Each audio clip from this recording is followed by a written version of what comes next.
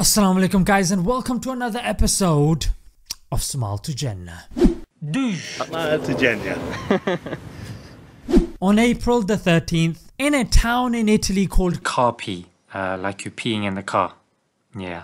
which is one of the most affected by the current pandemic, there was an interfaith event that was hosted by the local mayor Alberto Bellelli. Leaders from all faiths were invited and it was there that Imam Selmi read a passage from the Quran, more specifically from a surah called Surah Al Imran. Boy, this virus never ceases to surprise me. I mean, were it not for this virus, would those very streets have ever heard the Quran? I mean, those streets have witnessed such strife and disobedience. I wonder if they could speak, what would they be saying to each other?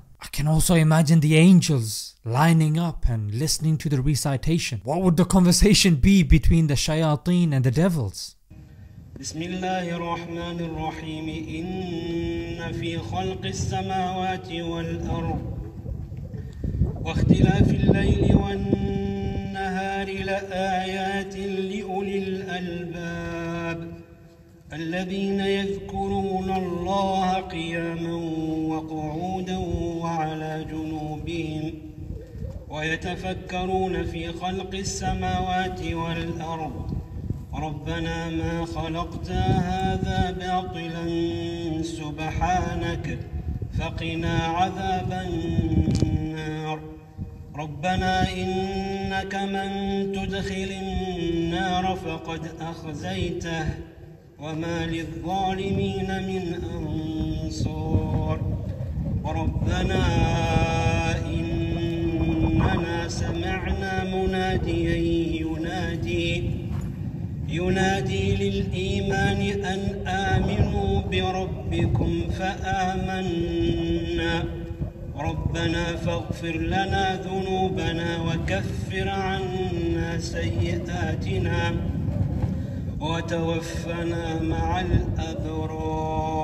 You know, it reminds me of the Treaty of Hudaybiyah. When it seemed like the Muslims got a raw end of the deal, but Allah described it as a great victory.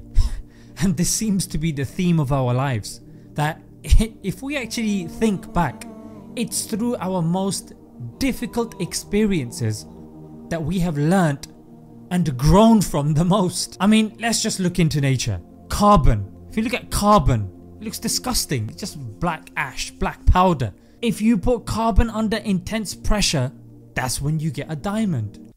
Shine bright like a Pause this guy for a second. Be quiet for a second. okay, shut him up. Shut him up. A rose looks very beautiful, but once upon a time it was a seed and that had to grow in the darkness and the depths of the soil. And manure, you know, if you want to make it uh, fertile and all that. And another beautiful example is a troubled sea makes a skilled sailor. If there's no troubled sea, he's not gonna get a chance to show his true worth. Even if you take a butterfly, it emerges from the darkness of a cocoon. Look at a cocoon, you don't look at it go, ah, isn't that beautiful? And this difficulty, guys, it may be the answer to your prayers. Didn't you ask Allah for more time? Didn't you ask Allah for opportunities of self reflection and time with family? And remember, it is this moment in time that changed the direction of your life for the better. And that's why I say, own it, embrace it, take it all in. I'm gonna leave it there, guys. Until next time. اللهم إنا نعوذ بك من هذا الوباء اللهم اكشف عنا هذا الوباء اللهم ارحمنا برحمتك اللهم تجاوز عنا يا أرحم الراحمين اللهم إنا نعوذ بك من البرص ونعوذ بك من الجنون ونعوذ بك من الجذام ونعوذ بك من سيء الأسقام. باسمك اللهم يا رب العالمين. اللهم يا رافع الضر ويا كاشف الغم. اكشف عنا هذا الهم. اذهب عنا هذا الوباء. احفظ كاربي وإيطاليا من كل سوء يا أرحم الراحمين يا رب العالمين. Assalamu alaikum